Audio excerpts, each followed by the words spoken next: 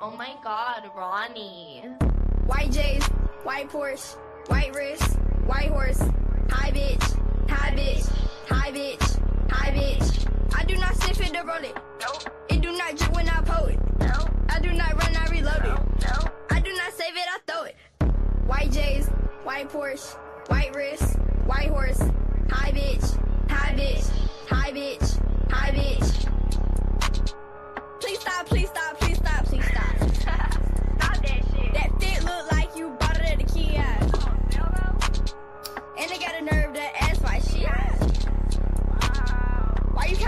that money that we got? I ain't worried about no basic bitches. All y'all look like still fly spirit. All y'all must have looked in the mirror. All y'all looking but the windows in the light. Hi, bitch. I don't know what made I, I hate this. Hi, bitch. Play if you want, but you know I ain't playing like white J's, white Porsche, white wrist, white horse, high bitch, high bitch, high bitch, high bitch. I do not sniff it to roll it. Nope, It do not drip when I pull it. No, I do not run, I reload no, it. no. I do not save it, I throw it. White J's, white Porsche, white wrist, white horse, high bitch, high bitch, high bitch, high bitch.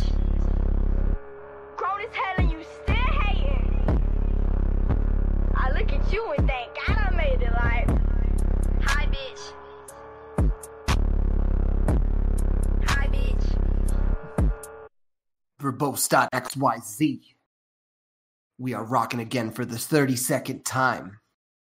And it's hot. Post 9 11 world for the 18th time.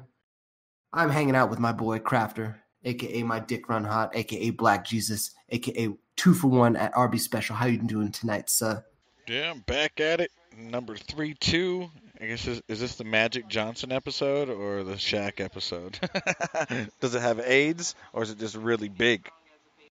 I think it has AIDS and is really big. Really big. I think that's like par for the course. You know what I'm saying? yeah. Shout out to Boozy out there in TV watching land. Shout out to anybody checking us out tonight. What Uh, it's all it's all about the big ass AIDS, uh, and we're killing it tonight here with all our friends. Um, and I'm excited. Uh, we we played a song for the first time we haven't played forever. That was "Bhad Bhabie," aka Danielle Bregoli. I think a lot of you out there in fucking internet land love her and or hate her. I would say I'm in the and or department. and or, huh? Yeah, I mean her music is so ignorant. It's like got all of the right noises, you know, that make you like bring that primal fucking urban feel. You know, yeah. I'm, I'm about it. I would go out on a limb here and say she is a talentless dumb bitch. Truly, truly. But can you really get the Christmas, uh, crisp, cri- not Christmas, crispness of the of the ignorance and the real feel of like being a trash human being without putting one in the driver's seat? You know. yeah, and, and almost like the real definition of cultural appropriation. Well, yeah. Who was the other bitch too that was around the same time? And they they kind of feuded, and was- she said that she was black. Oh shit. yeah, there was another dude. They're fucking multiplying.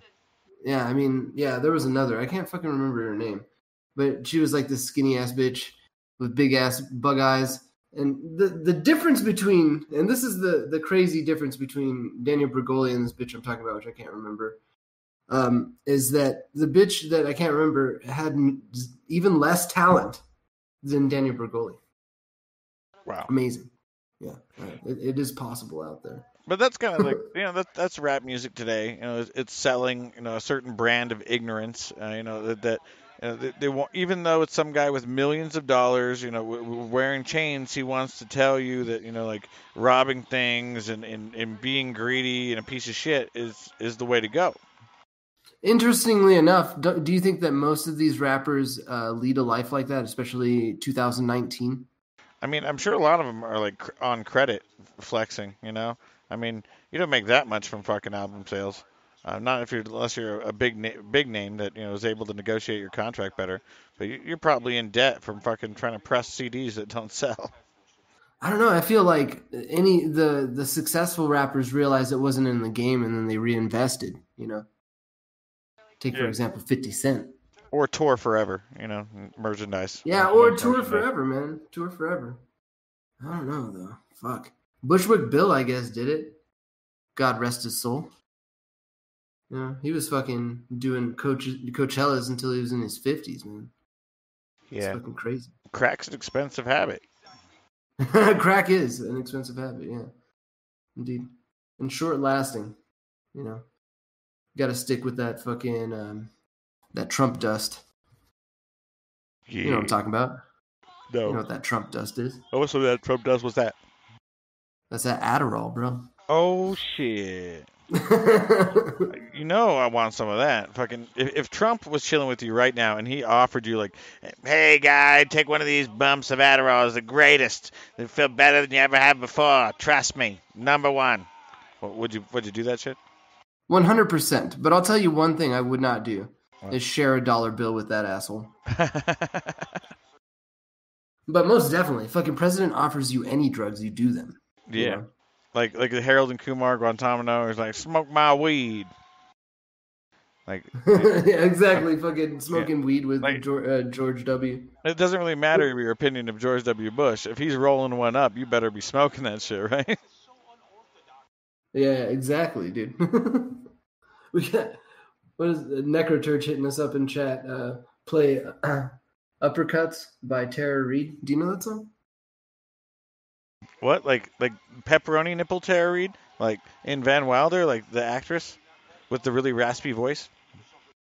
Terror. Oh, Terror. Terror. Yeah, Like yeah. oh, okay, like Terror Squad. Fat Joe, Big Pun, DJ Khaled. Yeah. DJ Khaled. I'm feeling so cold. Fucking Drake, man. Fucking Drake. It's just like we're surrounded by a bunch of hype men that are trying to get us stoked about something that never happens. And people buy into that feeling, you know? Yeah, I hear. I, I- we used that song "Money to the Grave" a couple, you know, uh, episodes ago. Um, but like, I still like hear it on the radio all the time, and I still get disturbed by the. It's like I'm gonna tat the realist on my face. Like, uh, do it. You know, like, well, don't fucking brag about something you're not actually gonna do. What the fuck, fake ass, fake flexing motherfucker. Fake flexing motherfucker. And when he shows up with a realist tattoo on his forehead, like you know, Drake's one down, motherfucker. But don't try to act. Uh, keep saying that line, but don't do it. What the fuck? Yeah, exactly. Fuck no. yeah, I don't know. I see interviews like I saw the Nardwuar interview with Drake, and it makes me feel like Drake is just like a sweet, sweet man. You know, he's just nice. That one, and then the fucking what's that video? She say, "Do you love me?" I tell her only partly. She only love my bed and my mama. I'm sorry, God's plan. That shit. Fucking, you you watch the video of him going out in the street and like handing money over to fucking people. You know what I mean? I feel like that's the real Drake. Drake doesn't want to be caught up in the gang shit. He just wants to like fucking be a nice guy, you know? he only fucking says the things because he gets paid by special interest. Who's the special interest? Uh, pharma, uh pharmaceutical industry mostly. What about like the people like he started with, like Lil Wayne and and Baby? They're pushing the same fucking agenda. Do you think like Yeah, like Lil, Lil Wayne's stories of like selling crack at 15 years old was was a lie or do you think it's no, true? I don't necessarily think that's a lie. I think that he was caught up in things. But like, I feel like he was like passed around and like gang raped and shit. I mean, that's how he first became gay. I mean, that guy's fucking face looks fucked up. Look, motherfucker, look like a gremlin.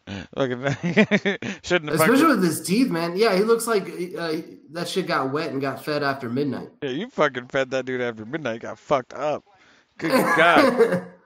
right? Fuck. Wow, He like- do- that that's those. You know, when people make those conspiracy theory videos about how hip hop and things are involved in Illuminati, I feel like that's the first thing they gravitate to is they look at fucking Lil Wayne.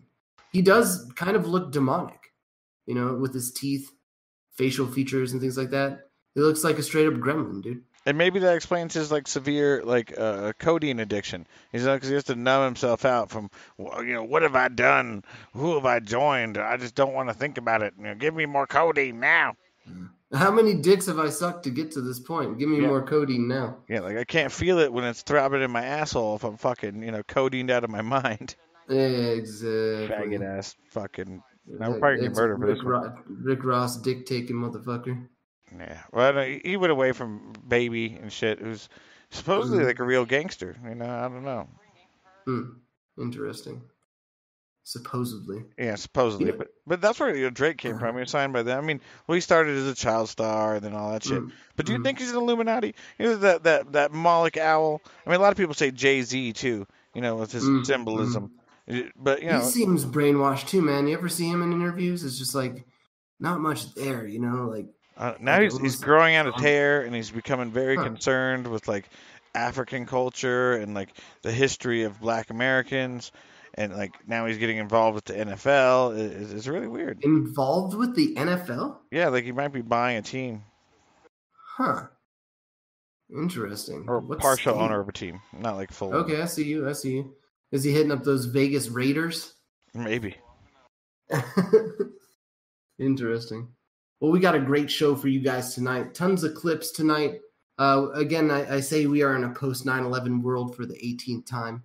Um, fucking. And uh, the, the world keeps turning, the news cycle keeps turning. But I think it's important when we start to uh, bring out these clips to kind of show you like a hodgepodge of what's going on and fucking really kind of tune in to what and, and read in between the lines.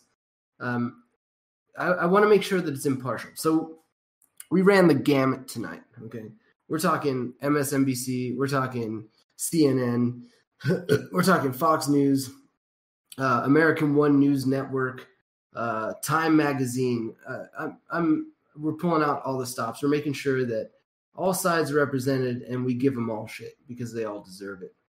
Um, since we started on kind of this hip hop uh, train of thought, um, did you know that uh, 50 Cent is uh, a successful businessman?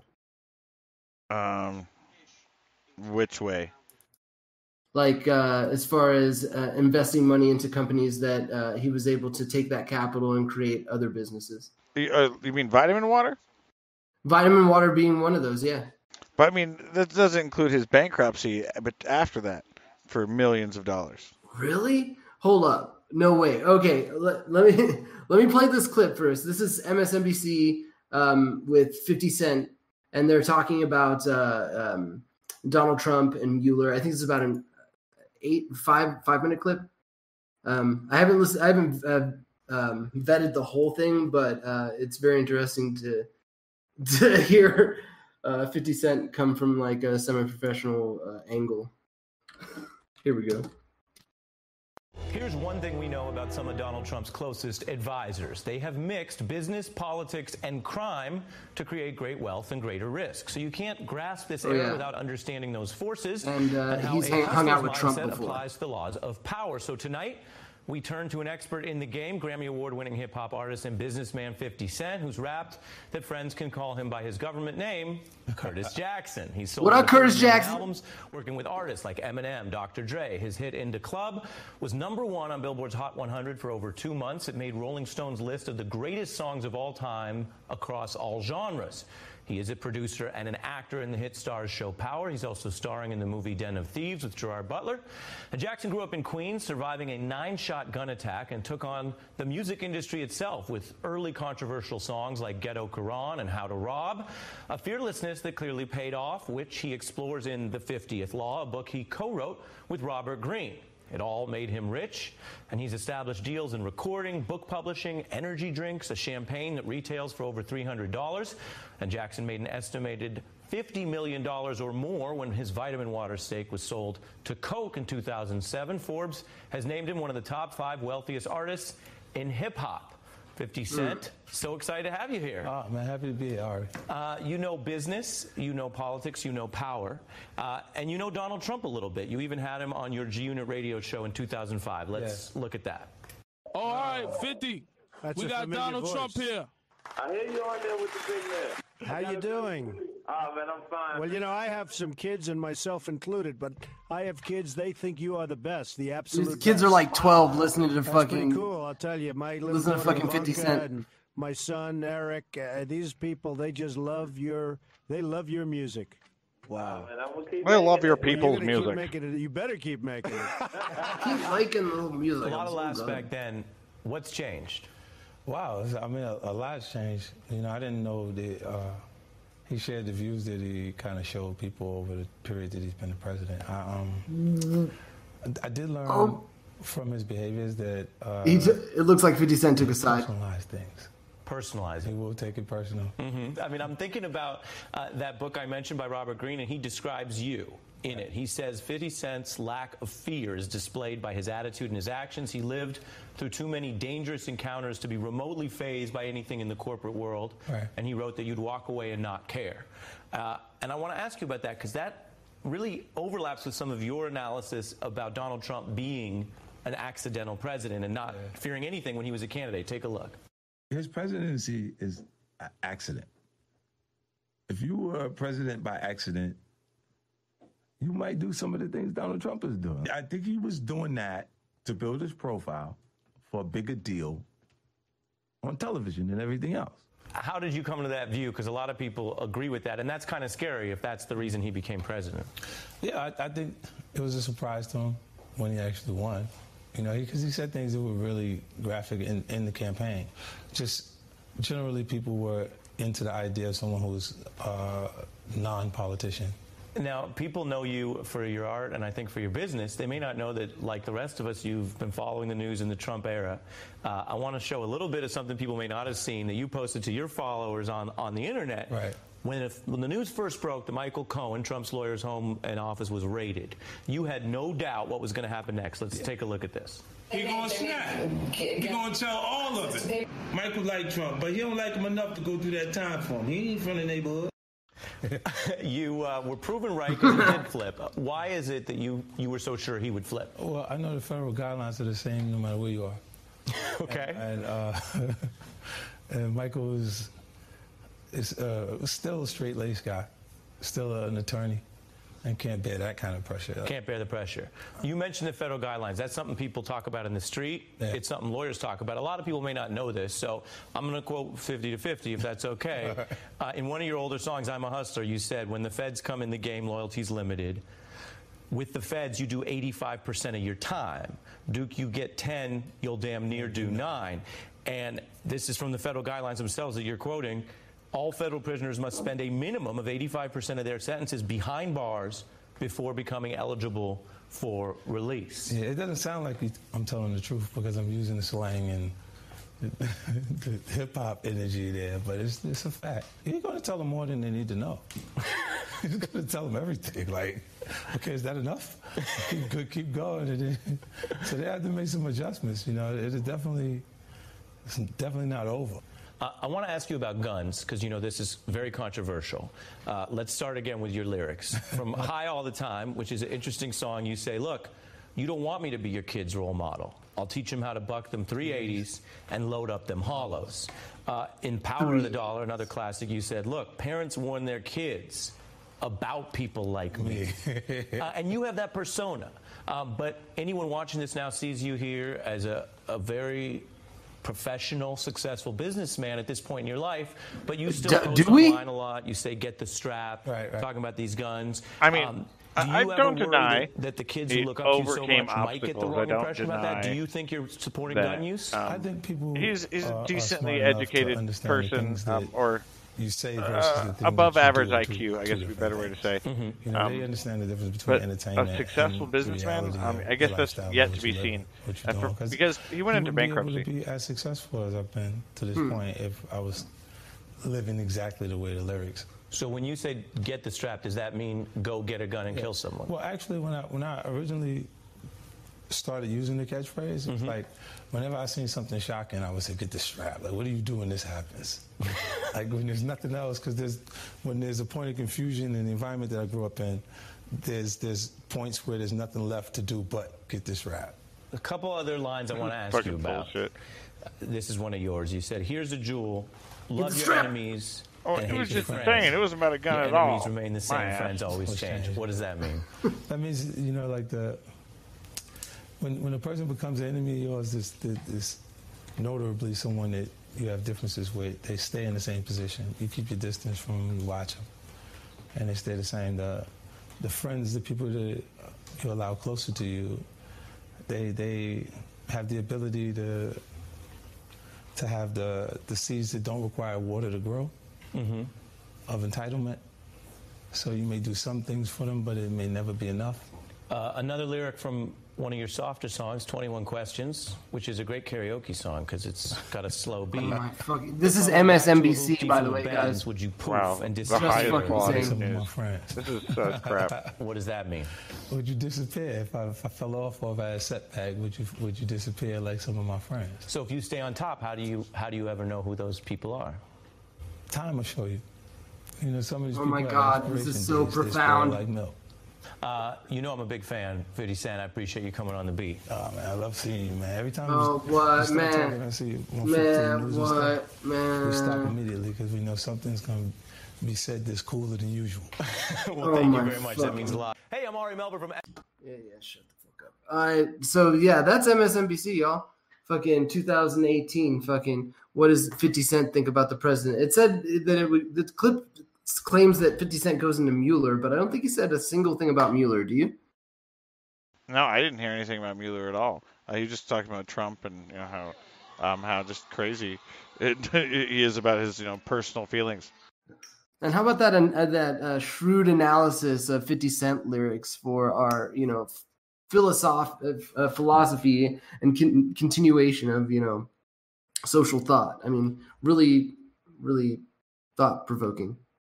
And, Right? And I instantly got the feeling. Uh, uh, if you ever watched Dave Chappelle, uh, for what it's worth, um, it, it's stand up from 2004, 15 years ago. You know, it talks about 9/11 and stuff, and it's like, and they talk about Ja Rule. You know, like they, they interview Ja Rule. What what does Ja Rule think about this? You know, like why the fuck are they interviewing 50 fucking cent about fucking Donald Trump? Why? Why? What what kind of news is that?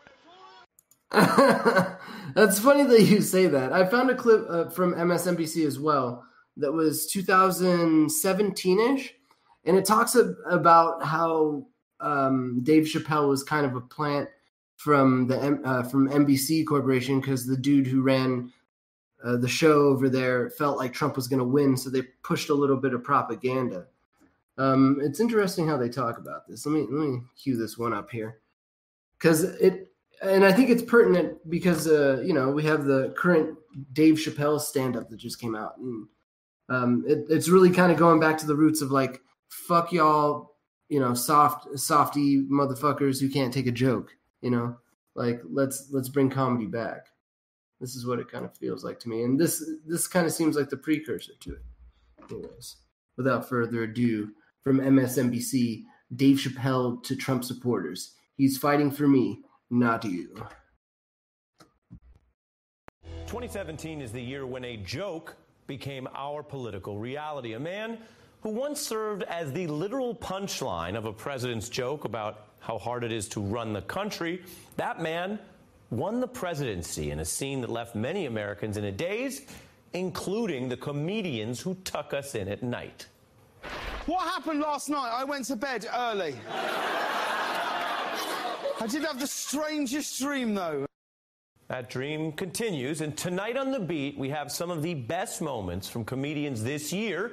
And fitting the Trump era, they are not all funny.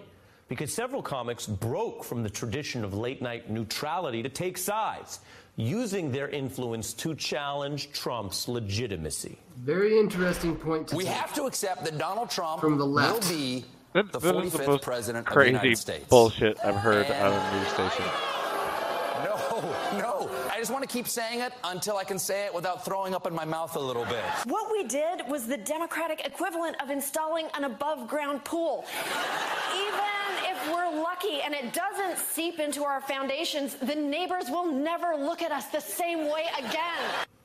Those reactions I are from the the, nights analogy. right after the election. Over the coming days, American culture convulsed over how to handle a President Trump.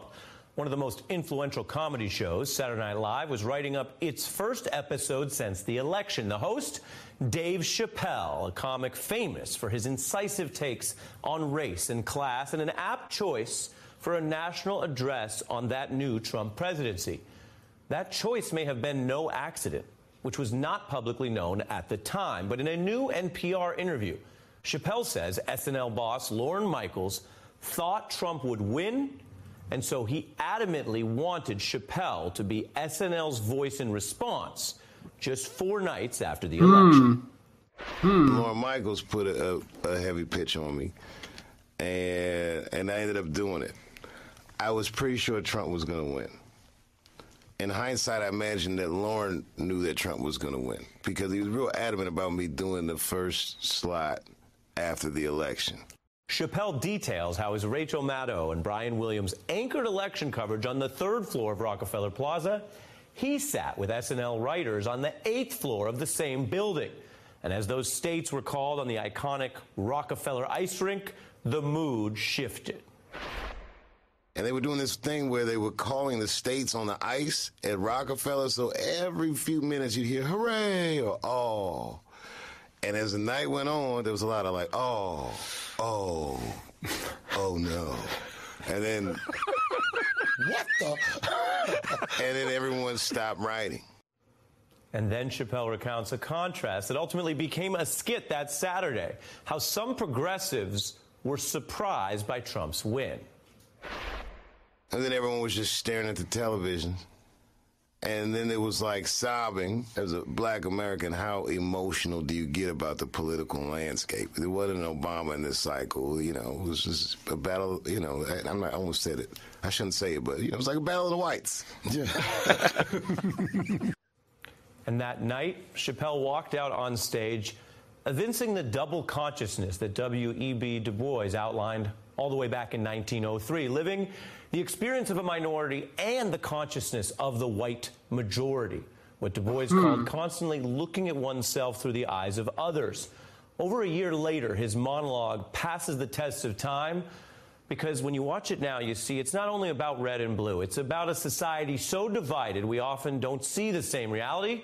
And Chappelle didn't focus on the obvious attack on Trump. He began by roasting people who were so surprised America elected Trump. The whites are furious. We've never seen anything like it. I haven't seen white people this mad since the OJ verdict. There's a split screen with white people on both sides. I watched a white riot in Portland, Oregon on television the other night. News said they did a million Antifa. dollars worth of damage. Every black person was watching that like amateurs. Then Chappelle turned to Trump's supporters. You know, uh, I didn't know that Donald Trump was going to win the election. I did suspect it. Seemed like Hillary was doing well in the polls, and yet I know the whites. America's done it. We've actually we've actually elected an internet troll as our president. That's awesome. Uh, fucking, it kind of is true. Like, we're we kind of have an internet troll. We have like a meme as a president. But I think also the other thing that he uh, touches up on that's super important is that um, the the reason Trump got elected is because people didn't come out. Like he says it himself. It was like a war. You know, this is the the you know war on the whites. A war. It's the battle of the whites, right? That you don't got a dog in the fight. It's like fuck it, you know. But that's a large. You know, that's one. Uh, I think the second largest, close to first largest uh, minority in the United States. Hispanics being the largest. You know, it's a large voter turnout to miss out on. And I feel like that's what the Democratic Party is always like urging for. But at the same token, it, it we're so deeply rooted in uh, our our side, our clan, our clique, that uh, the left and right paradigm falls apart based on you know what we're taught culturally. Yeah, it, it- it's definitely kind of broken. It's like them even you know selecting Hillary and and while all these social issues and and and you know unrest were happening already, kind of building. Um, it's kind of weird. Like with Black Lives Matter movement, they still chose to put Hillary up. When that was um, like a large section of their base, you know, they put Hillary up. Um, it, it seems like you know, like sticking to the status quo or sticking to the people in power is is kind of what's been going on, and it doesn't really matter about you know the outcries of, of the population. Yeah, it doesn't seem to. But But and it is it, int- seems. Oh, sorry. Yeah, go. No, go ahead. Go ahead. Um, it is interesting, you know, that, that with this whole Dave Chappelle, you know, kind of being used to, you know, like calm the masses, you know, like it, it in and for the left, and that's and who knows if Dave Chappelle is really in on it or just aware of it and using it for publicity. But I would say definitely executives, uh, maybe even like you said, Lorne Michaels, uh, is well aware of what they're attempting to do. Hmm. Hmm. I, I I'd say so. Um, I'd say it's co-opted all the way, you know, all the way up the chain, up the food chain. Um, God, and what what's going on now, right now with Trump, uh, are is what really kind of concerns me. Um, the whole deal with Saudi Arabia uh, being atta- attacked by Iran. Iran seems like has been in the works since you know we since we went to Iraq. and I, I thought would, the page was going to turn with Obama, but it never happened. Uh, uh, just drone strikes that kept being targeted in Afghanistan. Um, so I don't know. It's been been a long time coming, and it doesn't put me past. Uh, part part of me is torn in the situation, right? Because like Trump seems like he's trying to avoid war in a lot of ways. You know, uh, I don't know whether John Bolton resigned or he's fired. It seems like a common thing of this um, of this presidency to be like, oh, he I fired him. You know, it seems like that New York businessman attitude. He didn't quit, I fired him, kind of thing. So I don't know what's happening there. But John Bolton is no longer the Secretary of Defense, which I think is a very good thing. And he um, had a um, lot harsher stance on Iran. Um, so I mean, that would if the same event happened, uh, you know, a week ago, we probably would already be at war. True. But at the same token, you put crippling sanctions on Iran, on a very proud country like that. Um, don't you think you're just kind of like pushing buttons in general? Especially like the whole reason you're trying to put sanctions on them is because you don't want them to have nuclear weapons. You're scared of having them nuclear, but like Saudi Arabia does, uh, you know, well, Israel does. Do they now? Okay, maybe Saudi Arabia doesn't, but they probably have bought some black market, or at least have the ability to develop.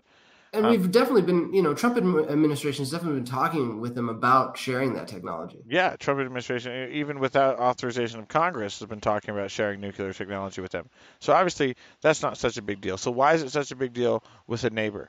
Um, uh, why is it, uh, when you already know like China has nukes, uh, Pakistan has nukes, uh, you know, India, uh, Israel has undeclared nukes. You know, why do you feel like this is the number one thing to hold over someone's head?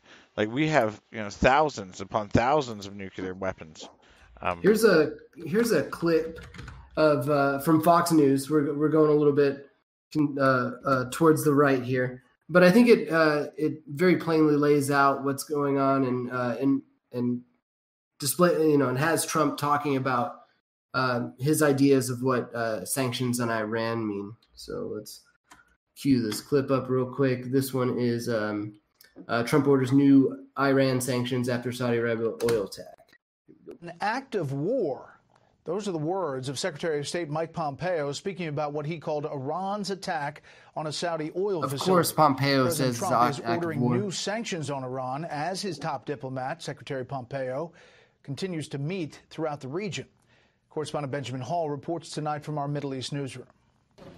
The pressure on Iran is mounting. Today, Saudi Arabia laid out evidence they say proved Iran was behind the attacks, displaying cruise missiles and drones they claim were used. Shortly afterwards, Secretary Pompeo flew to Jeddah to discuss the next steps with the Crown Prince, while U.S. investigators collected evidence on the ground at the attack sites.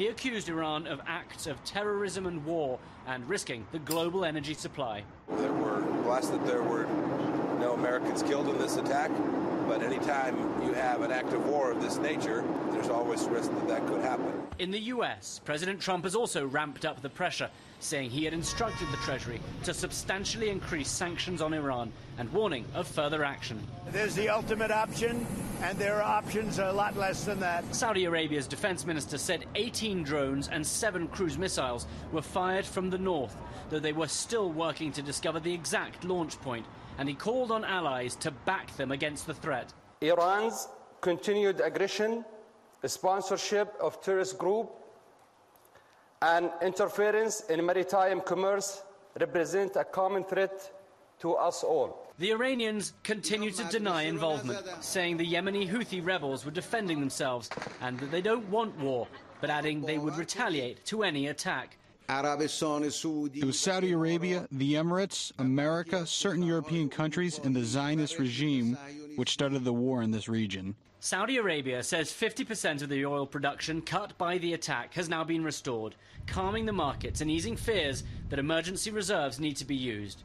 But few believe the threat has gone. The fact that Iran was able to bypass billions of dollars of Saudi Arabian air defenses and strike seemingly at ease at the largest oil facility in the world, well, that is now the grave concern. And certainly Saudi Arabia and the US will be discussing ways of bolstering those defenses. But other ways in which Saudi and the US can respond, well, they remain to be seen. So, um, yeah, one thing that really struck me about this the first time I listened to it was how the U.S. is very involved in the investigation of the rubble and um, uh, the actual parts of the drone and missiles that were used to attack the, the oil rig, especially in a post 9 11 18 years later. And isn't it just a little curious that all of a sudden that you know like the the major terrorist funding, Wahhabism spreading, you know, extremism, you know, support terrorism, suicide bombings.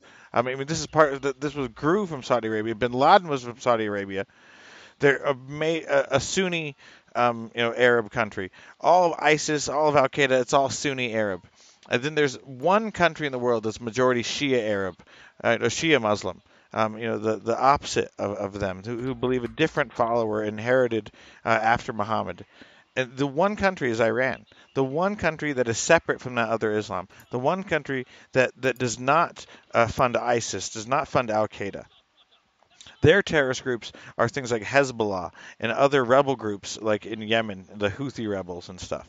And these people, you know, show up with, with you know with missiles on trucks, uh, in uniform, you know, with with large sidearms. They're not, you know, like it's not the same. It, it, it's it's like it's almost like a military, a, a very underfunded, uh, not modern military, but you know, with you know the weapons they can afford to get. Um, like when you see Hezbollah and how they defend with marked outposts, you know, on the border of Israel, and then Israel calls them a terrorist group. It, how can it be both? How can you be advertising your presence but be a terrorist group? Isn't that a military? Right, exactly. I, I think that it depends on what side of the of history you're on, what, how you define it, you know, and what makes it palatable to your population to accept the fact that you're killing another. Yeah, and there's I mean like a big group of Muslims who directly you know uh, disagree with Saudi Arabia, disagree with ISIS, di- disagree with Pakistan, disagree with with all most of the Muslims in the world, and some reason all the other Muslim countries agree that they're terrorists and that we have to do something about it. Like it, it's it's kind of weird. Mm-hmm. When America when America does drone strikes in other countries without you know um, you know any warning or, or anything, and we shoot people, we call it a military action. Why, if Iran does the same thing, is it considered a terrorist attack? They're on the wrong side of the war. You know what I mean? It's like um, we we have we have our trifecta. It's Saudi Arabia, America, and Israel. These represent the countries that represent the major religions that will then bring on the four horsemen of the apocalypse. It's already decided. It seems Palestine, it, fuck you, and then the rest of the Arab world also fuck you. Yeah, but it seems like Saudi Arabia is just trying to get America to finish their religious war and go against their religious rivals.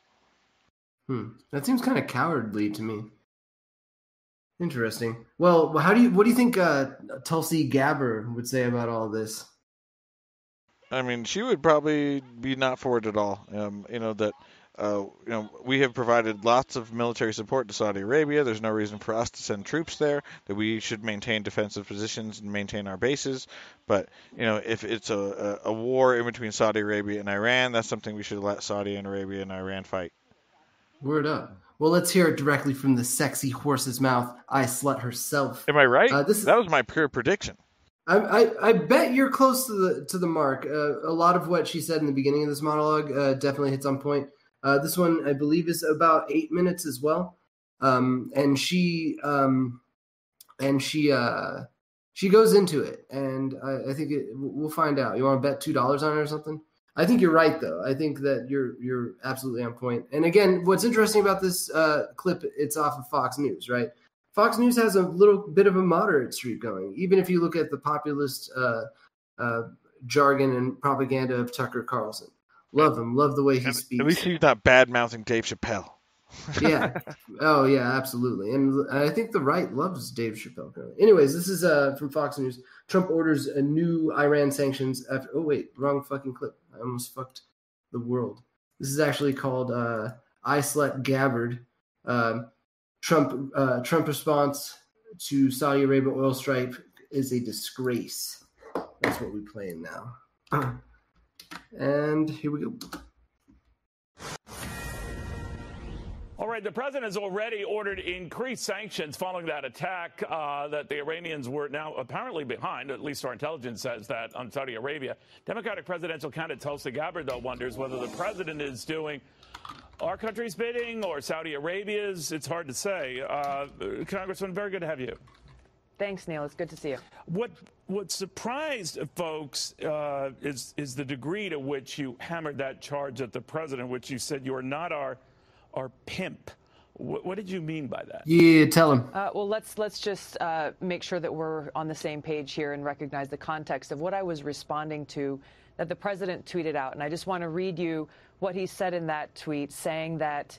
Uh, quote, we're waiting to hear from the kingdom as to who they believe was the cause of this attack and under what terms we would proceed.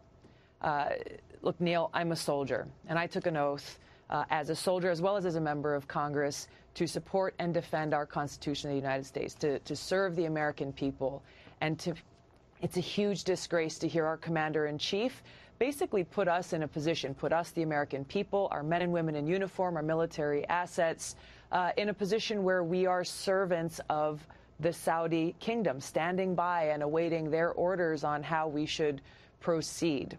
This is an outrageous that? Was he saying that, uh, Congresswoman, as much as trying? I understand what you're saying, but was he saying that as much as they, you know they're looking into this? They're not marching orders here. They're they're saying they're, they're trying to ascertain who was behind that attack, and that is what I think he was waiting on. Uh, well, if Trump didn't mean what he said when he tweeted that out, that, you know, we've got to see under what terms we would proceed, then he needs to clarify what he said and actually say what he meant. He's the President of the United States. He's the Commander in Chief of the strongest military in the world. And I think he really needs to be clear. Uh, so far, and this was said a couple of days ago, right. he has not issued any kind of clarification. Uh, and so all we can presume is that he said what he meant in that tweet. All right. Uh, he has not responded to your allegations or even tweeted a response. But it, what you did say is, I've never engaged in hateful rhetoric against you or your family, never will.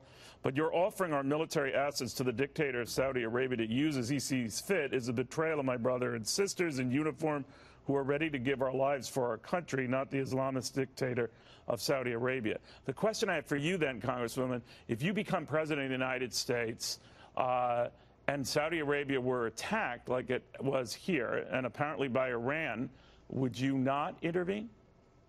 I would do what's in the best interest of our country. And as a soldier, I, I, see these things very clearly, seeing what is our goal, what is our objective. And as it relates to Iran, we have two primary objectives. Number one is to make sure that Iran is no longer moving forward towards increasing and building their nuclear weapons capability as they currently are since the Iran nuclear deal was torn up. And number two, to prevent, uh, you know, this all-out uh, shooting war with Iran that it appears we are headed towards. This is important for two two reasons. Uh, number one is obviously we've got to make sure we're keeping the American people safe, keep that at the forefront, and we can accomplish these objectives by understanding and realizing that the current strategy has failed. It's not helping us achieve that objective, and therefore we need to re enter the Iran nuclear agreement and get rid of these crippling economic sanctions that are continuing to escalate this war against Iran. Well, Iran has been doing this kind of stuff with or without sanctions, right? With or without a deal, right? So it doesn't seem to matter uh, the that, occasion or the deal, true. right? Well, They're while, provocative the Iran, behavior in the, the Strait of Hormuz and elsewhere, deal, right? While the Iran nuclear deal was in place, uh, Iran was found to be in compliance, both by our own intelligence agencies, the IAEA, other countries' intelligence agencies. They were complying with that deal, and it was making it so that they were not moving forward towards building a nuclear weapon. Now that that deal has been thrown in the trash, Iran is continuing to move forward. Well, the nuclear deal Tensions are notwithstanding, they have always been provocative, right? So I guess what I would ask you, would you as president then ignore that provocation, deal or no deal? Would you work on behalf with the Saudis? Do you, do you like the Saudis more or less than Iran? What? It's not about who you like or who you don't like. It's just about, once again, focusing on our objective of keeping the American people safe. Uh, what has just happened and transpired over the last few days here didn't just pop up out of nowhere. So we can't look at this in isolation away from what has been happening over the last several months that really was kicked off by President Trump uh, walking away from and throwing that nuclear deal in the trash, uh, increasing uh, crippling economic sanctions that are really hurting the people of Iran most of all, uh, designating their their military as a terrorist organization, deploying more of our troops to the region. So there's a number of things that have pushed us all, the world, to this point where we are today. So let me ask you, uh, do you recognize uh, Mohammed bin Salman as the leader of Saudi Arabia? Now, I know he was behind a lot of signals point that he was behind the killing of that Washington Post journalist a little over a year ago, uh, but he is still in charge. Uh, and others have said you can't pick and choose your leaders of countries you might not like. It is what it is. Would you talk to him? Would you deal with him? Would you, uh, on an attack like this, uh, do something in concert with him? I think it's important uh, under these and other circumstances to be ready and uh, to have the, the willingness to talk to leaders of other countries. And yes, I would uh, meet with the leader of Saudi Arabia, as I would meet with the leader of Iran uh, to de escalate these tensions. And once again, keeping at the forefront what is in the best interest of the United States and how can we best accomplish that objective, which is keeping the American people safe, doing what's in the best interest of our national security. And by pursuing these diplomatic measures, we have the opportunity to then prevent uh, that worst case scenario, which is an all out shooting conflict war that would uh, cause a devastating cost to the American people, to our troops, countless lives, trillions more dollars, what to speak of the impact and the devastation that would be caused around the region and the world. All right, so the interpretation I have is that you want to bring back that Iran delegate and move back to that, but it does give a signal here that you're no fan of the Saudi leadership, and, and many are not, I get that, but more of a fan of the leadership in Iran. No, I'm, I- I'm a fan of the United States of America. I'm a fan of the American people. And as president and commander in chief, I would put their interests above all Is else. it in our the interest for Saudi American Arabia? people. Is it in our interest for Saudi Arabia to be protected or its kingdom to be protected, or do you draw a distinction? Well, let me tell you what is not in our interests is this alliance that uh, has been longstanding between the United States and Saudi Arabia, in spite of the fact that they are directly and indirectly supporting Al Qaeda, the terrorist group that attacked us on 9 11. We just observed the 18th anniversary of that terrible attack on our country in 2001. They are continuing to spend billions of dollars every year uh, propagating this extremist uh, Wahhabi ideology that's fueling the growth of terrorist groups like Al Qaeda and ISIS and others around the world. Uh, they are directly supporting those who pose a threat to our country and to the United States, that threat that we need to defeat. Is that threat greater than Iran?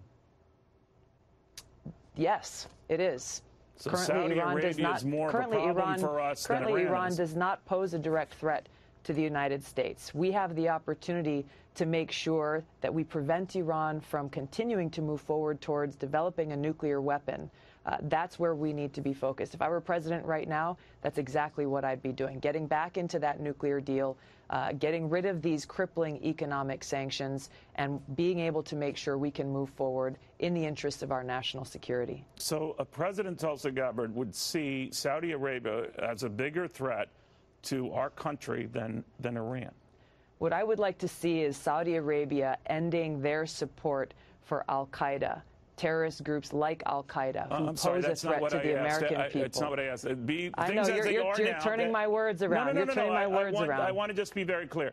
But, but you, you have a, a higher opinion of Iran than you do Saudi Arabia as no, things stand no, that's now? not at all what I'm saying. That's not what I'm saying.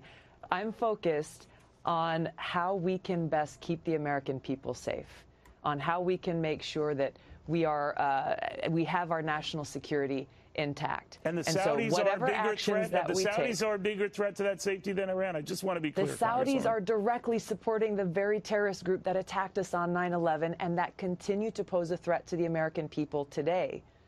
So if the president were to take action against Iran, with or without uh, Saudi intelligence or help, that would be a bad move in your eyes.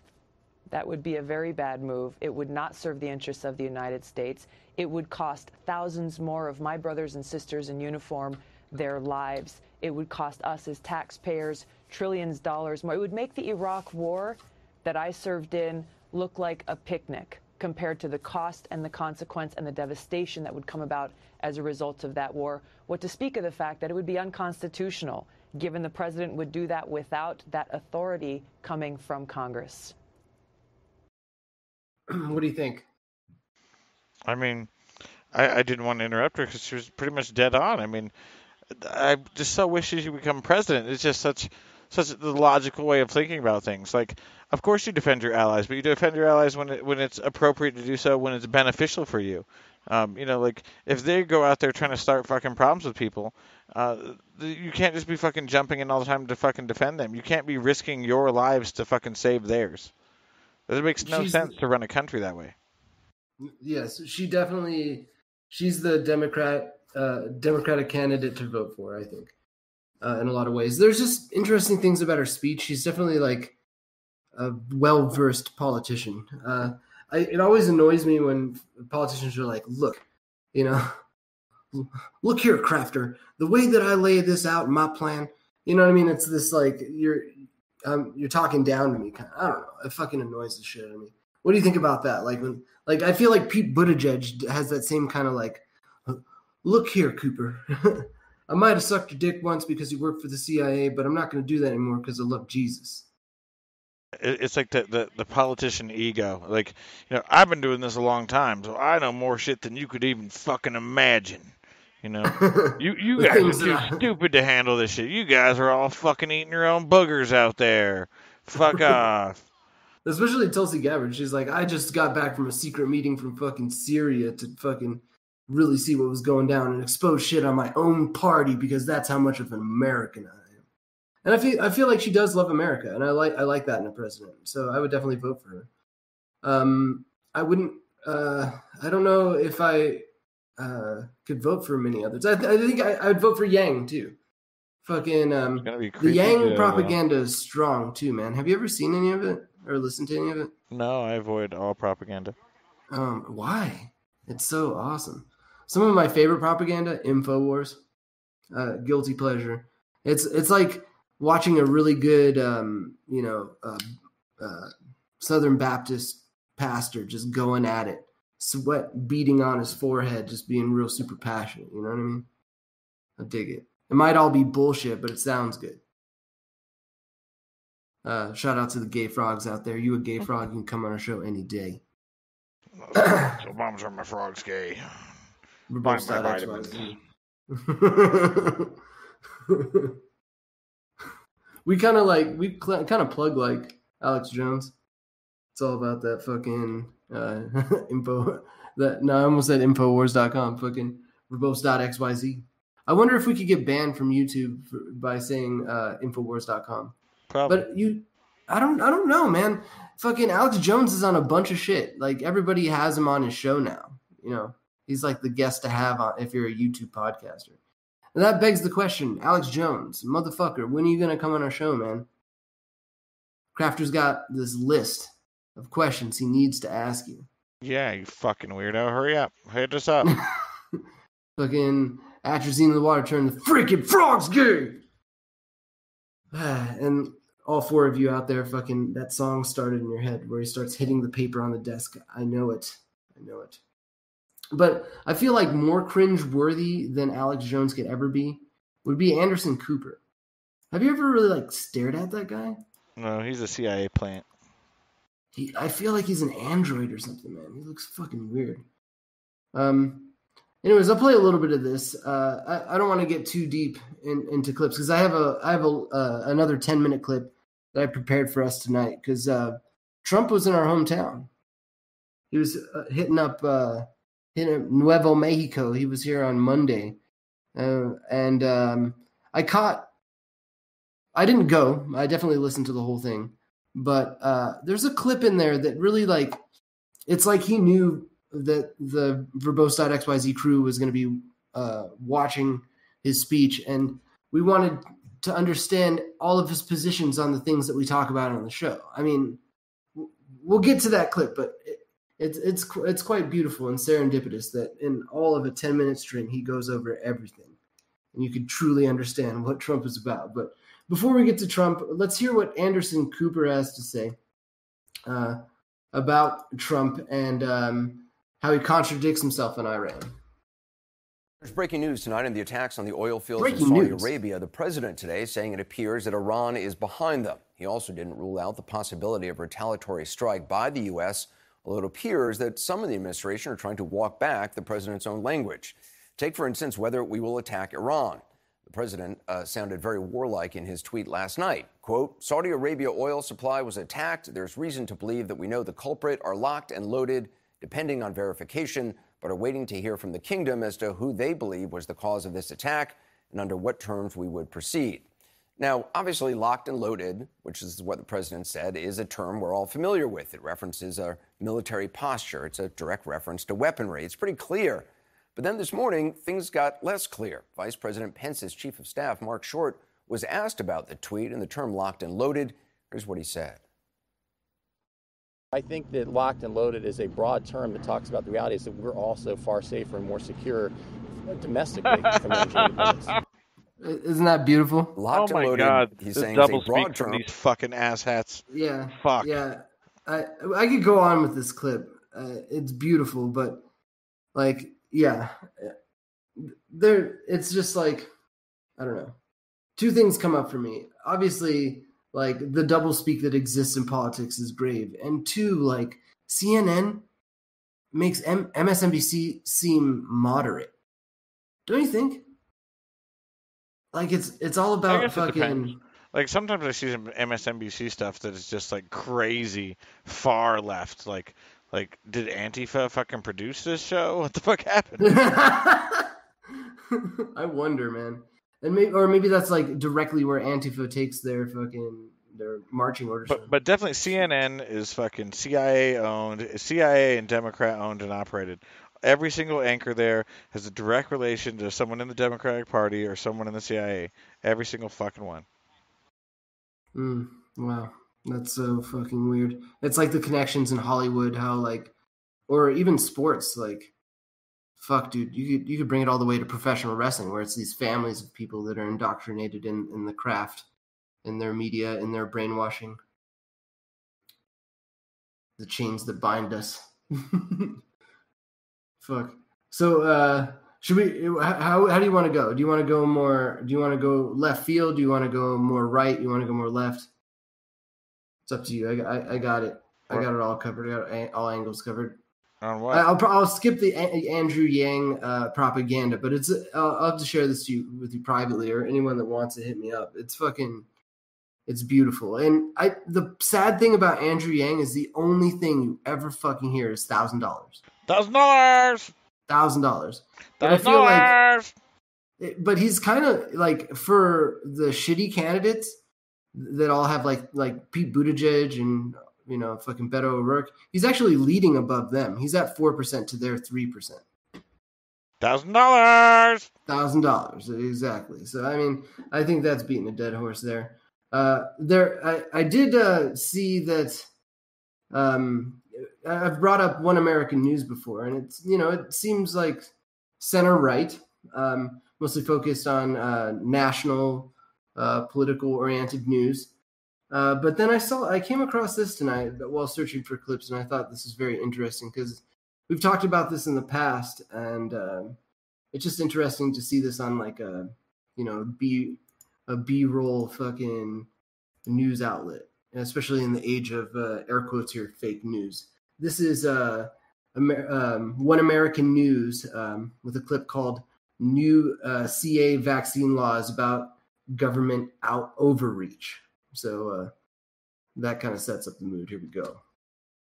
To me, this bill is all about government overreach. Government power in any aspect of my life uh, scares me. Am I wrong about this bill? Uh, I, I, really, it is a lot to delve into, and you and I have discussed this before. It's interesting how this issue even divides conservatives. You know, my brother from another mother and colleague, Ben Shapiro, thinks that this is a public health issue, and it's entirely okay for the government to do this. And then we have other people that are saying, wait a second, if this now, then what? I consider myself, I often joke that I'm a conservative hippie living in LA, considering I'm the weird person that vaccinates my kids, but also has unmedicated home births and it does, I think the biggest, my biggest problem with this bill is much like a lot of people don't realize that if you have a hospital birth in the state of California, the government is keeping a database of the blood that is drawn at that public hospital of your child. They have their DNA on file. As we saw with the Golden State Killer, this is something that they were able to utilize to catch the guy, but the weird part there is that they didn't really have a warrant to do so. So I think that your point about vaccines and the government looking at your personal medical records is something that is very valid um, and a concern considering the state of California has overreached, I think, in other areas of personal privacy as well. Yeah, almost every other area. I can't, I mean, as a conservative living in California, you and I share this view. I'm not sure there's anything we would trust to the California state government. They have absolutely insane laws here. And proponents example, of this bill make the same argument that you mentioned about the public health aspect of this. They talk about the herd immunity that's necessary uh, mm-hmm. in our nation, meaning that most children need to be vaccinated if we want to have herd immunity here. And I, I certainly understand that argument, and I, I wouldn't disagree that it's an important aspect. But when it comes to government mandating that, I think we as conservatives have to ask ourselves, especially in California, what's the limiting principle here? Hmm. And if we conservatives well, are limited government oriented, you know, where, where could this stop? It seems to me this is the same argument that people on the left make about guns. They say it's a public health issue and everybody should be denied their right to keep and bear arms because some people are harmed by it. And the Democrats deem that to be a justification to take away our rights. I don't think we can allow government to do that. Yeah, I think that it really is. I think that the slippery slope here is potentially scary. And it is also funny that the people that say that it's allegedly my body, my choice, my child, my choice are not letting the parent potentially have that choice down the line. I hmm. So I it was a little bit more moderate than I thought. That's for sure. It was the weirdest example though. Like this is an overreach. If I have my child in a in a hospital in California, they're going to take its DNA and they might use that DNA to find out he's a serial killer. I want my kid to be able to be a serial killer if he wants. Like that's the example that they made. Like what? Like, can you think of an example where they, they took someone's DNA and like framed them or something, or at least set up that hypothetical? Not be like, remember when California used it to catch that serial killer who was raping and murdering people? Yeah, I don't want my kid's DNA in that database. Like, what the fuck? Why not? What's wrong with you? It makes no sense.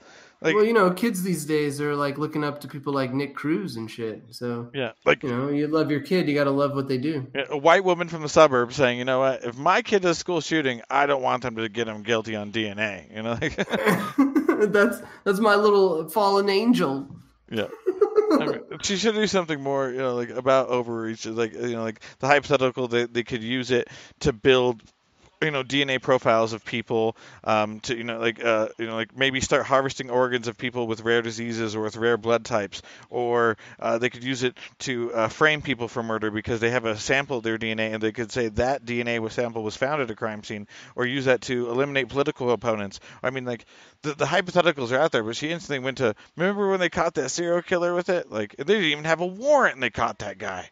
Like wow, that I really hate that technology. Yeah, like, like, fuck uh, you, science, for proving that guy murdered someone, and not the court for fucking issuing a warrant that fucking got him first. Like fuck you, science. Like I am outraged. it, it's just a bad example. I, I gave a couple examples there, and, and they didn't even try. They didn't even try. Yeah, that was uh, that was uh, that was less rehearsed and verbose. I think. Uh, I think that was a follow. Thanks out there uh, in TV watching land. Super appreciate you hitting us up. Thank you. Um, there was there was something I wanted to mention a fucking uh, a couple clips ago, and that's the the idea of like kind of armchair running the world and country via Twitter. It feels like every uh, Fox. It doesn't matter what outfit. You know, everyone's looking at the news and uh, how what's being communicated based on Twitter, and then doing these ciphers of what the president's saying, what these powerful people are saying based on their Twitter accounts. What the fuck happened, man? Why is it that we're using Twitter to kind of like uh, uh, social engineer, like on all levels? And and why do people think they understand 160 characters so well? Like when you text someone, we already understand that you know inflection is hard, sarcasm is hard. Um, you know, like uh, uh, people outside your group won't understand your inside jokes through texts and stuff. It's it's it's it's very weird. So like, uh, how can you judge someone on 160 typed characters? Yeah, I mean, big time, you know. Um, but at the same token, I And they could take Ambien and have to use the N word, you know, because that shit happens. dude, Roseanne, uh, love you, Roseanne. You can also come on the show, and you may say the N word only three times. I think Three that's the times. limit that YouTube YouTube will let you. And hard R is okay, even for those three times. Yeah, but uh, then I'm going to crucify you for use of it. Right, um, right. Because it doesn't matter uh, how you're intending it. It- The definition, that's what matters. Definition matters. And and listen to Richard Pryor. listen to Richard Pryor, who said, you know, uh, near the end after his accident, that he wouldn't use the word, he wouldn't call someone else that word, he didn't appreciate being called that word because it was it was it was an offensive word that is used by people who don't respect themselves or other people. It's not a Hmm. word that Martin Luther King used. It's not a word that Malcolm X used. And I'm not, you know, a black man, so I can't tell someone not to use this word. that that's that's it. But like understand it, comes from a place of insulting language. If you go around calling someone a bitch all day or calling someone a fuckhead all day, you know, like it's based to insulting language. You know, like yes, there, there's the the the cordial feeling of any word like that. You know, you can call your friends anything, but you know, when someone outside that group hears it, they just are offended. And in in in a sensitive, super liberal world, you know, offense means everything. And That's true. And speaking of the N word and in a super liberal world, uh, offense means everything. Um, how about the new Jussie Smollett? Yeah, uh, yeah, another person self-victimizing and blaming a right wing. Um, it seems like they feel like the Proud Boys and the right wing has not created enough turbulence and violence, so they have to help them out. And if you don't believe me, it was hard for me to find a clip on YouTube for this, which is funny. And this is just like straight news piece, unbiased of what happened from Time.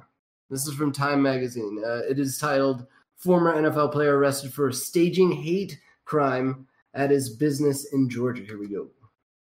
Former NFL player Edawn Coughman has been charged with staging a fake hate crime in Georgia. Gwinnett County police say Coughman damaged his own business's property and spray painted racial slurs, a swastika, and MAGA around the establishment to get insurance money, saying in a statement, quote, It appears as though Edawn conjured a premeditated plan to damage his own property, attempt to make it appear as a hate crime, file a claim with his insurance company, and sell off the undamaged appliances and electronics. Police were notified of a burglary at the Create and Bake restaurant and Kaufman's Creamery and were told the businesses were also being damaged. The statement says they were notified the suspect drove a black Chevrolet Silverado with no license plate. Authorities found Coughman in the truck, later learning that he owned the businesses and had reported the damage to his insurance company but had not called 911. Cans of black spray paint and a yellow crowbar were found in his truck. Coughman was arrested and charged with false report of a crime, insurance fraud, and concealing a license plate. He has been released on bond.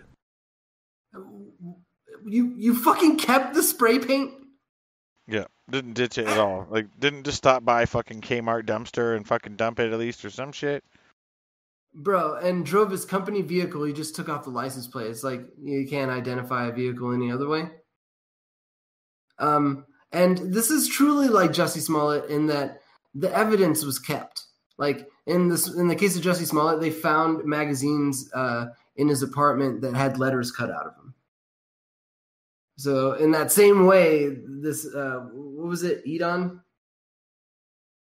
Etard, I don't know. Etard Mc, McFoot player. Some some old motherfucker who didn't make enough money and invested his stupid money into fucking create and bake your own bullshit restaurant. I mean, yeah, the, the businesses look cute too. It's just a shame that like he doesn't have that much pride in his shit that he has to fake a hate crime. And the funny thing is, he didn't even fucking call the police. He didn't call the police and report it. He just claimed it on the insurance. You know. Oh, so it was really just more maybe just an insurance scam. And he's like, you know what? Yeah. White people do this shit all the time. Yeah. Yeah. Do they? Insurance scams? Yeah. Oh, I see Oh. what you mean. Got him. Yes, they do. Fuck. Well, um, th- this has been fun tonight. We went through the gamut of all these clips, and th- it all crescendos to the ultimate clip. And I prepared this tonight. I put love into this, and I also wa- for all of you, I watched the entire uh, uh, Trump speech.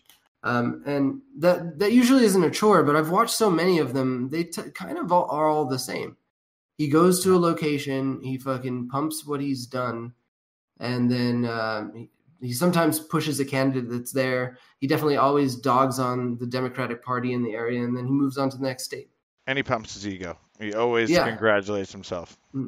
Sometimes there's some interesting stories, but most of the time not. You know, I feel like uh, I feel like this. You know, the government, the CIA, the Secret Service, all those. You know, FBI. They're probably fucking going crazy as far as clearances going. Like every time he utters something, like, "Oh, I had this deal with this person," like, "Oh God, you fucking have clearance. Why are you saying these things?" You know what I mean? Anyways, go ahead. I'm Sorry.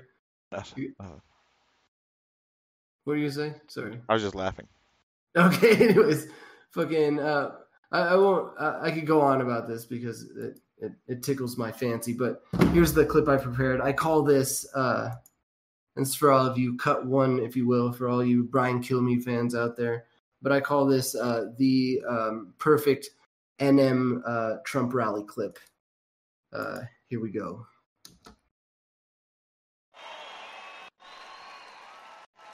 The Democrat Party, do you notice I always say the Democrat Party?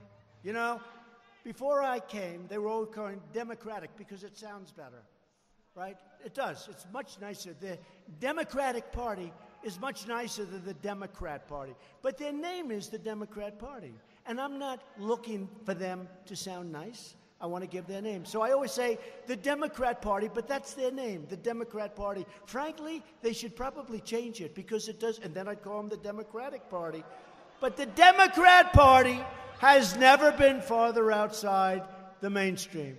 Every major, that's a nasty fly. Fly. I don't The like fly. those suckers. I don't They know landed about on you in Obama. New Mexico, but I'm not into flies or mosquitoes. I don't like snakes too much. We have plenty of them in New York and Washington, a different variety. I don't like snakes either. Now you'll we see got how a lot many, of snakes in Washington. how many things he DC. talks about that we we've got a lot here of on the show. snakes in New York. Here it comes. I don't like either kind of snake. I think I like the kind on the ground better than the ones we have in Washington. Every major Democrat running for president supports a massive government takeover of health care that would destroy Medicare as we know it today. My administration will protect Medicare and defend your right to choose the plan and the doctor that is best for you. And we will always protect patients with pre existing conditions. The Republicans will always do that. Our ambitious campaign to reduce the price of prescription drugs has produced the largest decline in drug prices in more than 50 years. You don't hear this because the fake news doesn't want to write about it.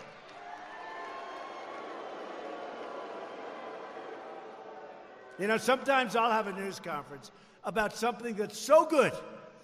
And I'll say, you know, I call my wife, First Lady, First Lady. People love our First Lady.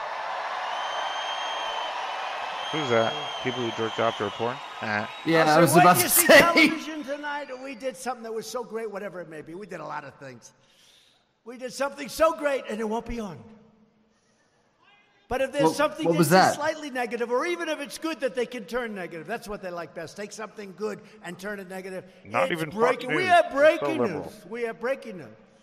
Breaking news. Ah, these are phony people, but that's okay. You know, when you think of it, I'm president, and they're not. What? There's the ego pump. Crazy. And people cheer this. It's crazy. You know, sometimes I'll be in the Oval Office and I'll be with my people. We have great people. And I'll say, you know, and there's great calm in the Oval Office. You don't like to hear about it because you don't hear about it too much. That's what, not what they, but we have great calm considering it's pretty wild stuff going on in the world, right? But I'll be saying, you know, they don't treat us right. They don't treat us right. It's not fair. It's not this. And then I'll just sit back. I'll say, but we're in the Oval Office and they're not. It's pretty amazing. It's pretty amazing. And when you have the Democrat Party and the press, the media, the lamestream media, the fake news, and their partners, they are partners, okay? Remember the word manufactured? They used the word manufactured on something. Never been used for that thing. And every newscast, the manufactured crisis started. The next one, this crisis was manufactured. Every one of them used the word manufactured. They know what I'm talking about. Now that's called collusion, folks. That's real collusion.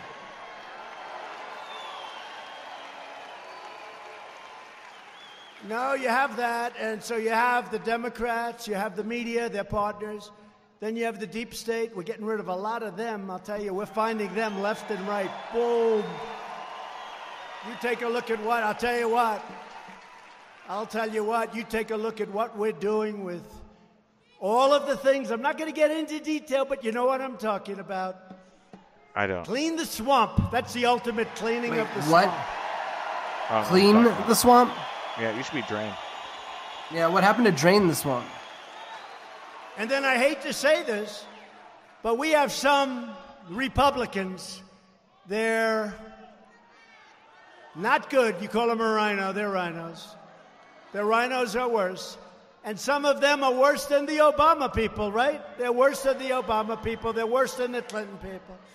But there aren't too many of them left. They're pretty much on respirators. They're gasping. They're gasping for air. But we do have some bad people that uh, you wouldn't believe. John Bolton left. That's pretty cool. I didn't hear you. What did you say? What? I didn't hear that. QAnon, QAnon. Virtually every That's top what- Democrat also that's what it now feels like. supports late term abortion, pro ripping babies straight from the mother's womb, Oh, gotta right touch up on until the moment of birth. Let's get our reaction. And that's why I've asked Congress to prohibit extreme late term abortion because Republicans believe that That's every child every Democrat is a sacred pushing gift that, right? from Can God. you have regular late term abortions? Just ban the extreme ones? Extreme late term abortions. Right? I see it. That's his finishing move Just like in Mom, the I wrestling see ring. Yep, the extreme late term. Democrats are now the party of high taxes, high crime, open borders, late term abortion, and socialism. Socialism. Wow. The Republican Party is the party of the American worker, the American family, and it is the party of the American dream. Gotta be asleep to believe it. We've achieved record funding for the U.S. military. All of that money, trillions and trillions of dollars spent, all produced right here in the good old USA. Like what? The money was produced in the USA? And I have to tell you, New Printed? Mexico, I know you're going to like this. A lot of those trillions, because, you know, when you do the 716 and the 730 and the 700 billion, all of a sudden you're in trillions, and I can save a lot of lines when I just say trillions. A lot of that money is going to be spent in a state of the art military equipment that's being oh, used. Oh, wow! at Holloman Air Force. New Mexico Base, is so excited! White Sands Missile Range. Because you can only get a job there if you have clearance and you suck the right Kirtland Air. Force Base. We're going to space! We're going to Mars! We're going, yeah! And many other vital Yeah. New Mexico military installations that are going up as we speak. Space That's Force. also jobs. Yeah. But more importantly than even jobs, Incredible. What you've done for the military in New Mexico is incredible, and we've remembered. But we're pouring a lot of money into New Mexico, and that means a lot of good things. And we're investing in our nation's nuclear security, including right here in New Mexico, and Sandia National Laboratories and Los Alamos National Laboratory. Los Alamos. Wow. I remember the name of places because my my protect agents told me. America's security. I withdrew the United States from the horrible one-sided Iran nuclear deal. It was no good, and we imposed the toughest ever sanctions uh, on the Iranian regime. Here we regime. go. Watch how that works out, folks. This is another thing we talk about a lot right here. I here. recognized Israel's true capital and opened the American embassy in Jerusalem. Jerusalem's true capital because the Bible matters more than reality. And don't forget what I did for Israel with respect to Golan Heights. Don't forget, Oh. right? Oh, For years really you cool. watched as your politicians apologized for America. Now you have a president who is standing up for America, and we are standing Standing up up for Saudi Arabia and Israel. for New Yeah, Mexico. exactly. standing up for Saudi Arabia and Israel. And you must never forget get out there and vote and get ready and get everybody. We need it because we're fighting a lot of forces, including Facebook, I saw, and Google, I saw. Did you see Google? He said, I saw. I may saw have lost 2 million to 10 million votes, according to this news. character that Fake news. worked at Google, right? Fake news. And we still won. How the I s- hell did we I win? I think the fake Everybody news. was against us. How did we win? How did we win? This is a Google executive. So uh, yeah, Trump, 2020 around the corner, and here he comes, tromping his way up into fucking New Mexico, hanging out in the desert with all our, us assholes, and uh, fed us a bill of goods as he does in every state. What do you think, uh, Crafter? Am I uh, off base on this? No, you're, you're Uh, dead on. It's like wrestling is the best analogy. It, it's it's like his WWE persona. It's just like go out there and oh, we're gonna get him, and I got him before, and we're gonna do better than ever before, and we did more money, and we got more money, and you got more money, and oh, you should see the money, and it's, it's just it's ridiculous. He the guy doesn't offer. You get a car. He doesn't offer real conversation. He doesn't offer uh, even explanation of of the smallest plans. Or remember what I, I did. Can't tell you about it. Yeah, remember it. And uh, we got all those deep state peop- people getting more and more deep state people every day. What? What? Who? When? Wh- wh- what is this? What are you talking about? Why do you acting like this is just a common knowledge? What the fuck are you talking about? Yeah, deep state people, and it feels like the deep state people uh, are kind of falling off because they don't like him. You know. But the mystery deep state people that cannot be named, those that shall not be named and never be exposed, but somehow you got them. What the fuck? Yeah, I mean, I, yeah, that's true. I mean, the only again, the only person I can think of really is John Bolton. John Bolton being the warmonger that was his Secretary of Defense, and I feel like he stepped down, and that that was a move in the right direction as far as the country's concerned. I don't think that was Trump's fault. Maybe he's just so annoying uh, and uh, not following the narrative of uh, continuous war. Yeah, but but for such a hero that is getting rid of the deep state, how is he just removing them from government so they can retire with millions of dollars? How is that a positive move or a good thing? Like they're they're gonna if it's true, they're just gonna you know get back into government through other means. They're gonna pay for candidates. They're gonna pay for lobbyists. Like you're not gonna stop powerful people from interfering if that's what they choose to do. Like I, I don't understand how he thinks like firing John Bolton and letting him retire with millions of dollars in his house gets rid of deep state or gets rid of warmongers. it doesn't. He's still powerful and in the country. Mhm. Expose his ass. hmm Yeah, indeed. Uh, and that's the problem. And we see this across the board in all the fucking things, like from uh, Trump side deals of nukes with Saudi Arabia to Jeffrey Epstein murking himself in a cell so that all of the secrets are never exposed and, and no one wants to fucking rat out the other. And the underlying corruption lays there to fester forever, you know? You see it in the nepotism of Hollywood and you see it in the nepotism of government. Fuck the government. I'm coming out official and saying it. What say you, Crafter? yeah, fuck the government. Bullshit. They fucking want to lie to you. They don't want to fucking tell you how things really operate. They want to keep things uh, secret for the sake of keeping themselves in power. Obviously, they've done something so bad, be it 9/11, JFK, uh, MLK, um, uh, deep state stuff. Who knows? They've done enough dirt that they know if they tell you the truth, it's fucking over. Word. I I totally agree with you, sir. Fucking um wow. Like a great couple of past episodes, man. Uh, I I must say that this Palestine is straight. Uh, you know, Egypt is quite bisexual, uh, and the gay is real. But what about Syria? Yeah, transsexual Syria. Okay. Uh, what about uh, Iran? Um, Iran is big dick. big dick. I mean, big um, dick Iran. bad taste because they're Persian. Is that something? Is that a thing? Yeah, they like gold chains and purple curtains. That's cool as shit. Fuck yeah. Um, Alex Jones, if you're out there listening to us, fucking come on the show, bro. It'll be fun. Shout out Alex Jones. Shout out to Alex Jones for sure. Um, and that begs the question, bro. You hang out with some douchebags, dude.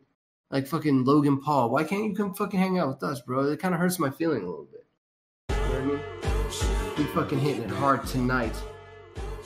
Uh, putting you out with a new track from that guy, uh, Tyler Creator. Someone I'm not super into, but uh, his jams, he's got a little bit of that soul going on. You'll appreciate it on the way out. If you haven't checked us out before, thank you for checking us out this time. We are verbose.xyz, the two man crew. We're looking for a Gary. If you want to join here and be our research monkey uh, to do both the research and be researched upon, uh, hit us up in the comments. Uh, reach out to us on our website, for verbose.xyz. Check out our Discord, blah, blah, blah, yada, yada. Um, the world's divided right now, but you don't need to be.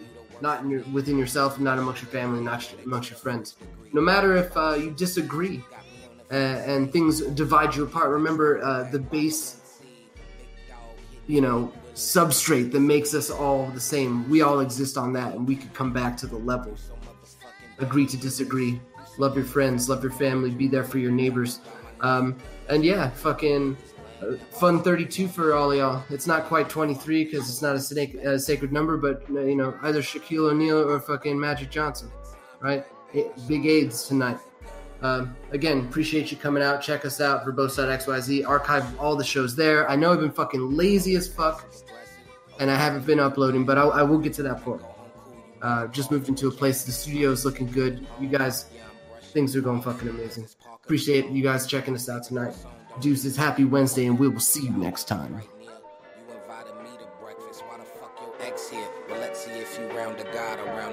X here.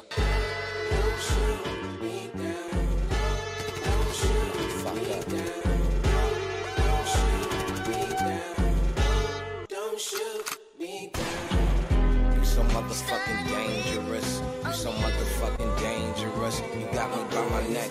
so I start to think it's lame as fuck.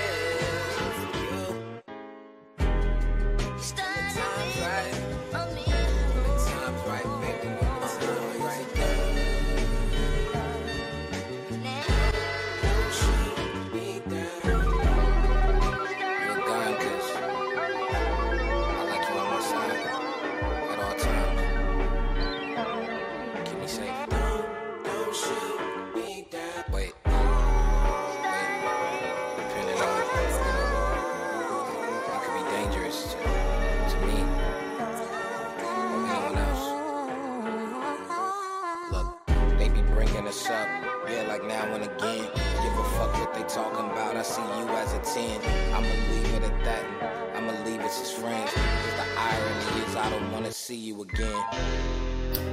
Stay the fuck away from me. Stay the fuck away from me. Stay the fuck away from me. I ain't gonna repeat myself, but stay the fuck away from me.